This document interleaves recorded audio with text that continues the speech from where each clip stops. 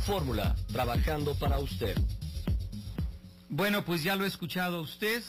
La multa que impone el Instituto Nacional Electoral a un fideicomiso creado por el órgano político Morena ha sido pues muy criticada e incluso rechazada por el presidente electo de México, Andrés Manuel López Obrador, porque ve una especie de complot del INE y de la Secretaría de Hacienda y Crédito Público y también de un medio de comunicación en esta sanción que llega casi a 200 millones de pesos. Vamos a platicar con el doctor Ciro Murayama, quien es consejero del Instituto Nacional Electoral, a quien saludo con gusto. Doctor Murayama, muchas gracias y buen día. No, gracias a ustedes. Muy buen día, encantado de estar en este espacio. Gracias. Oiga, consejero, a ver, ¿le puede resumir al auditorio y explicar con peras y manzanas, como dicen, el quiz de este asunto? Con todo gusto. El Instituto Nacional Electoral impuso esta sanción porque tras los sismos del 19 de septiembre distintos partidos eh, propusieron llevar ayuda, dar ayuda a los damnificados y desde un primer momento se les dijo que la única forma de hacer ello sin incurrir en una ilegalidad, dado que todos los partidos tienen prohibido eh, entregar bienes, servicios o dar dinero directamente a la población, porque nuestra legislación en un país con tantas carencias, eso se considera una dádiva, es que regresaran su financiamiento público, parte de él, para que el INE lo canalizara a la tesorería de la federación y los apoyos llegaran pues por conductos oficiales sin riesgo de que ellos incurrieran en esta violación a la ley. Sin embargo, Morena, el 23 de septiembre, cuatro días después de el sismo, acuerda crear un fideicomiso, nombra a las personas que serían cargo de él, que son seis de sus dirigentes, incluso eh, registra el fideicomiso en banca firme y fijan el mismo domicilio de la sede nacional del partido. Así que no hay duda alguna de que este fideicomiso nace a iniciativa de Morena. Después reciben 78.8 millones de pesos en ese fideicomiso y eso tiene varios problemas. Eh, 44.4 millones, más de la mitad de todo el dinero es de origen desconocido porque se trata de, de depósitos en efectivo. Nosotros encontramos además, gracias a la evidencia del sistema bancario, que se trata en ocasiones de un modus operandi muy atípico, que es que llegaban personas los mismos días a las mismas horas a cinco sucursales de banca firme y entregaban fajos de 50 mil pesos una y otra y otra vez con diferencia de segundos. Era una operación donde la gente, un pequeño grupo de personas, nueve personas, se formaban una y otra y otra y otra vez ingresando el dinero. Es algo muy, muy atípico. Y bueno, de esta manera, a partir de depósitos de origen desconocido, lo cual tienen prohibidos los partidos, los partidos no pueden tomar dinero de origen desconocido.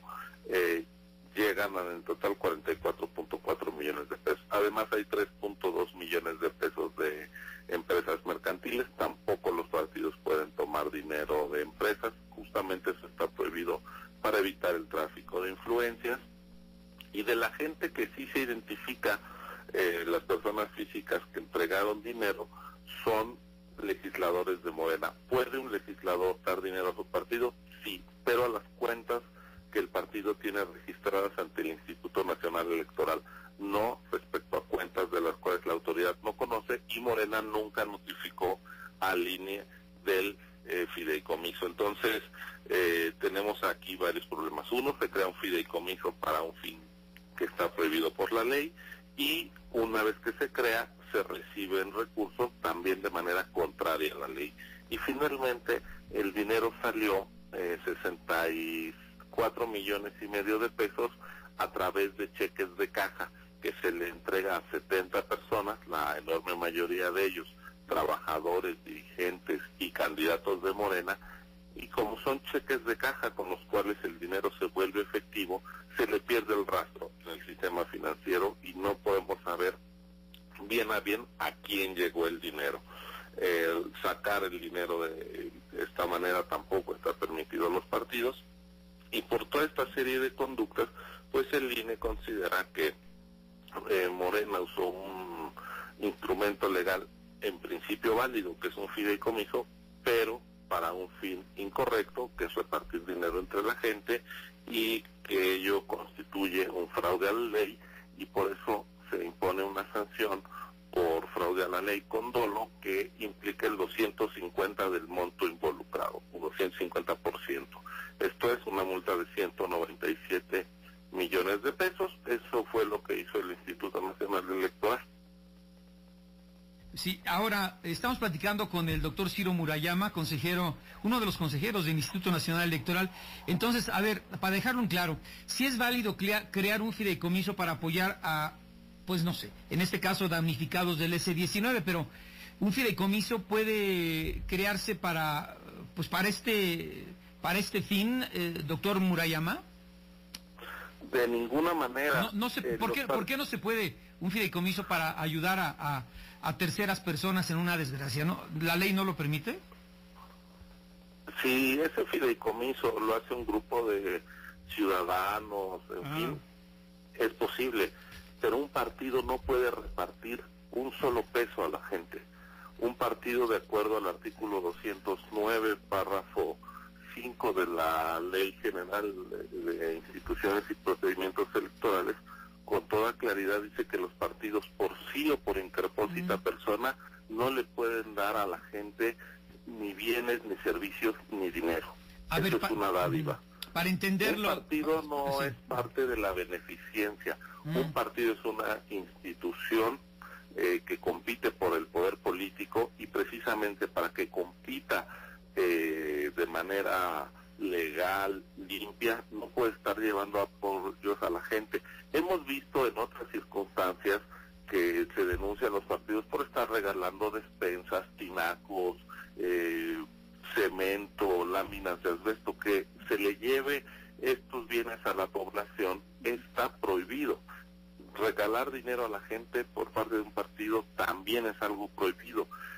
Eh, entiendo que se trató de una situación pues de necesidad, incluso puede ser algo que se haga eh, de buena fe. Lo que pasa es que los partidos, además de actuar con buena fe, deben de actuar dentro del marco legal. Ningún partido, haya sido quien haya sido, tenía, tiene permitido estar dando dinero a la gente. Porque, eh, porque en el fondo, dice el INE, estarían favoreciendo al, al voto eh, en, en su beneficio, pues. Pues es que lo dice la propia ley que hicieron los partidos. O sea, los ellos no pueden, imaginen que esto se, se, se valida y entonces los partidos ahora compiten a ver quién le da más cosas a la gente. ¿Quién, ¿Quién le hace el mejor regalo? Oiga, eh, don Ciro eh, Murayama, ¿sería ya sea en especie o en, o en efectivo? ¿No se puede ninguna? Dice la ley. ¿O en especie sí? Dice la ley, la entrega de cualquier tipo de material en el que se oferte o entregue algún beneficio directo, indirecto, mediato o inmediato, en especie o en efectivo, a través de cualquier sistema que implique la entrega de un bien o servicio, ya sea por sí o por interpósita persona, está estrictamente prohibida a los partidos. Dichas conductas serán sancionadas de conformidad con esta ley. Entonces, desde su perspectiva, ¿a quién se entregó este dinero? Primero, ¿para, qué se, ¿para qué se crea el fideicomiso? Desde la perspectiva del INE, pues. ¿Para qué se crea este fideicomiso y a quién le entregan los recursos? Le voy a pedir su respuesta después de una pausa, consejero, por favor. De acuerdo. Sí. Donde tu opinión. Giga Telcel presenta. Bueno, regresamos a platicar con don Ciro Murayama, uno de los consejeros del Instituto Nacional Electoral en relación al fideicomiso que apertura el partido Morena, el Partido del Trabajo y el Partido Encuentro eh, Social para recibir dinero y eh, otorgarlo supuestamente a los afectados por el sismo del 19 de septiembre del 2017. decía don Ciro Murayama, entre otras cosas, que la ley electoral prohíbe aperturar fideicomisos para estos fines, para la entrega en especie o en efectivo a terceras personas y eh, bueno, esto incluiría la, el impedimento para apoyar a los damnificados del S-19. Pero le pregunto entonces, don Ciro Murayama, bueno, antes de la pausa, ¿para qué se crea el fideicomiso y a quién se le entrega el dinero? Y por otro lado, o mejor, vamos a otra pregunta primero, ¿por qué es que la dirección fiduciaria de banca afirme o de grupo financiero afirme acepta abrir este fideicomiso si está prohibido por la ley electoral? Bueno, eh, esa es una respuesta que tendría que dar quien cometió la, la infracción. Pero por ahí empieza todo, ¿no? Sí, es que el fideicomiso desde que se crea para que un partido de dinero está mal, es ilegal. Pero entonces no lo checó, no lo checó Grupo Financiero Afirme o qué pasó? Nosotros no no tuvimos ninguna consulta de, banca firme en ningún momento. No, pero Afirme no lo checó ni con ustedes ni con nadie, pues. En efecto, incluso puedo decirle que el propio contrato del fideicomiso, el que hicieron entre la gente que designó Morena y Afirme, ahí se establece que a ese fideicomiso no puede llegar dinero en efectivo solo transferencias o cheques. Y lo que yo le comento es que se recibieron 44 millones de pesos en efectivo, lo cual incluso contraviene el propio eh, contrato que se celebró en la firma, además de que va en contra de la ley electoral y por lo mismo el INE le está dando vista a la Comisión Nacional Bancaria y de Valores para que en el ámbito de sus atribuciones pues evalúen lo que está haciendo eh, este banco y vea sus responsabilidades, ¿no? Bien, pero eso sería eh, iniciar por el principio, ¿no, eh, consejero? Digo, si una institución está, es como si una institución financiera abre una cuenta de cheques con recursos de procedencia ilícita, pues es lo mismo, ¿no? Pues nosotros... En, este caso, no, en este caso no estoy diciendo que es de procedencia ilícita los recursos de fideicomiso, pero es, es como si un banco se le va, que llega una persona con 5 millones de pesos en efectivo y le dice, ah, perfecto, vas a abrir tu cuenta de cheques, no hay problema, deposita aquí tus 5 millones de pesos, dame tu licencia y se acabó. Bueno, pues así no funciona. Así no funciona y en el caso de nosotros no nos estamos pronunciando sobre el banco porque nosotros no somos las autoridades bancarias, nosotros somos solo la autoridad electoral administrativa y quien tenía el deber de informarnos a nosotros del fideicomiso directamente era Morena y nunca nos lo informó. Los partidos políticos no pueden abrir cuentas y manejar dinero de espaldas a la autoridad electoral.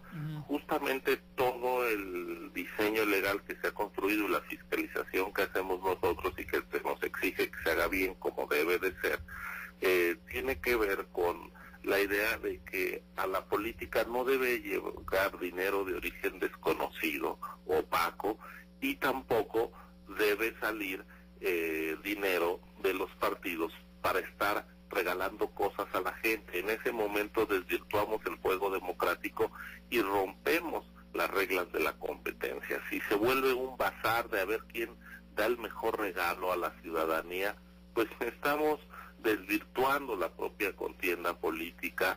El ciudadano debe de votar en función de cómo evalúa las propuestas de los partidos, no a ver quién le da eh, algo. Por eso es que nuestra legislación lo considera una dádiva.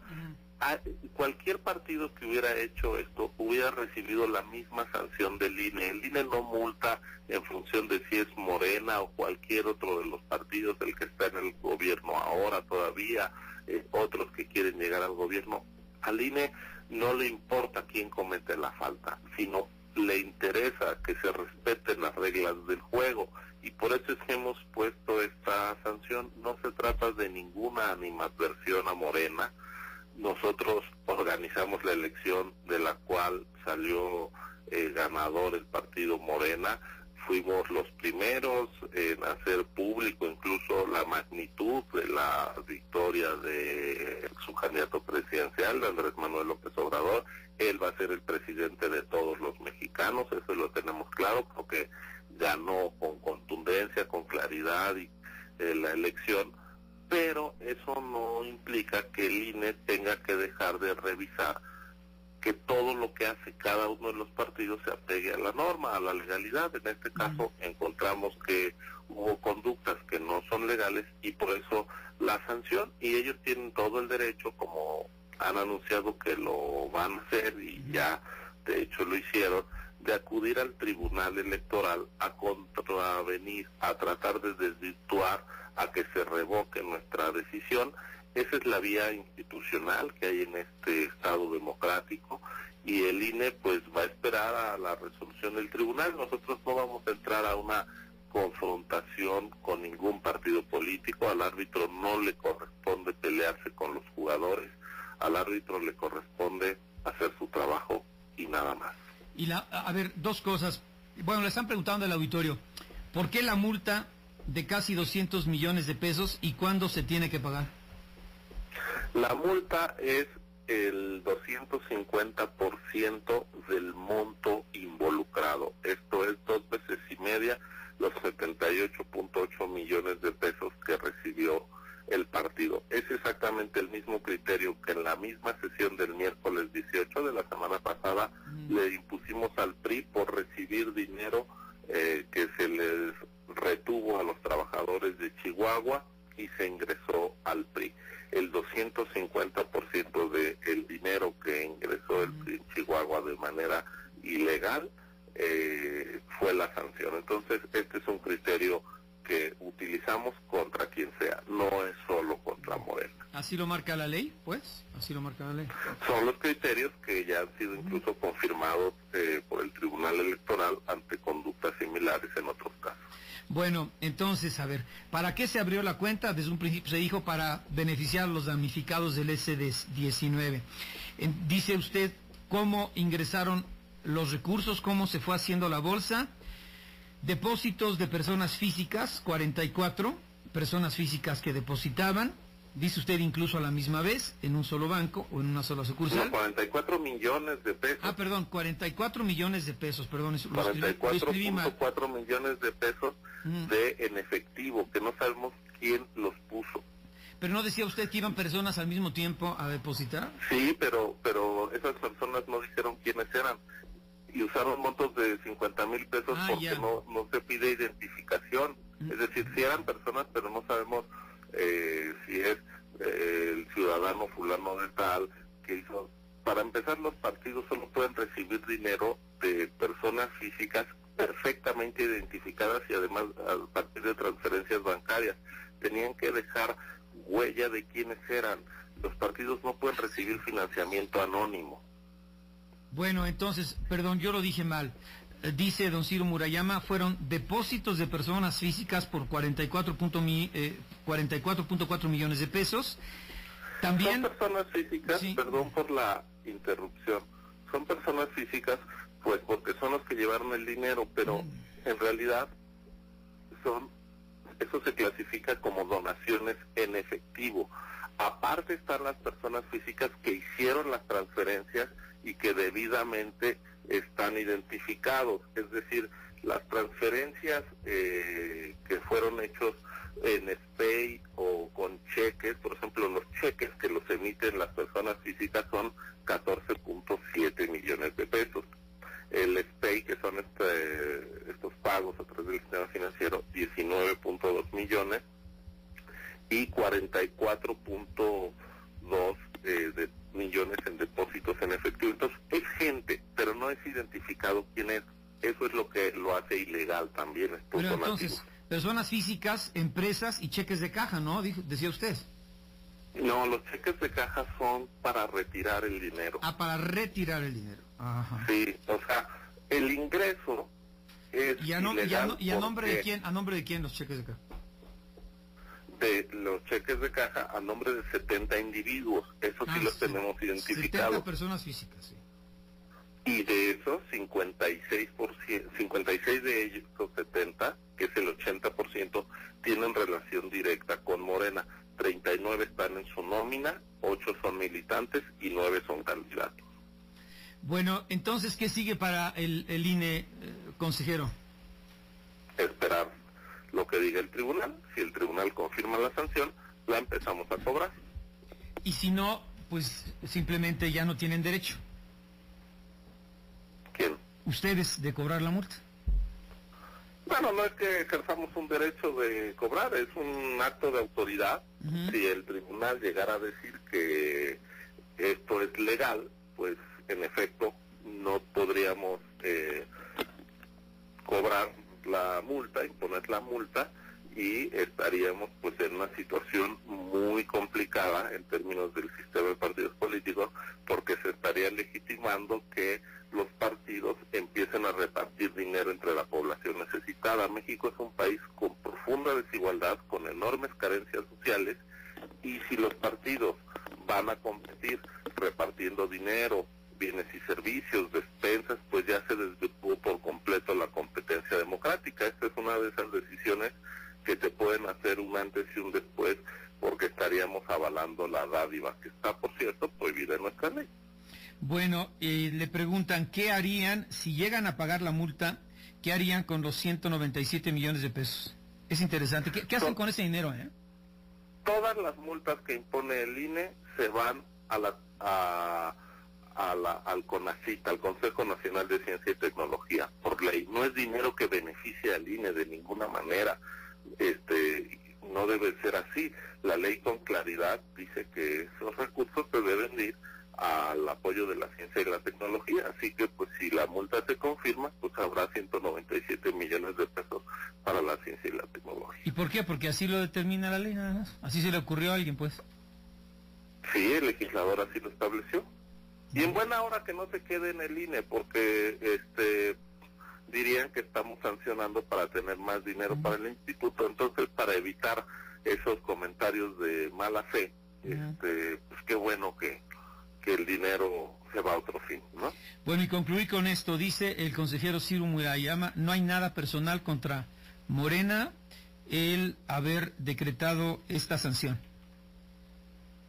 Efectivamente, Bien. si hubiera sido el candidato, vamos a decir, del PRI, quien dice, eh, vamos a crear un fideicomiso para apoyar a gente necesitada, denme dinero y él va informando, incluso en los debates presidenciales, ya dimos tanto dinero, pues habríamos sancionado al PRI o al PAN o al Bronco, a cualquiera de, de ellos. Este, en este caso fue Morena quien hizo esto, nosotros eh, lamentamos que que se esté pues escogiendo una ruta que vulnera la norma y puede ser de buena fe pero es ilegal. Los partidos no son la beneficencia no son cualquier ciudadano son entidades de interés público así los define la constitución que compiten por el poder político. Por eso ellos tienen unas obligaciones en el manejo de sus finanzas distintas a otras personas morales. Los partidos políticos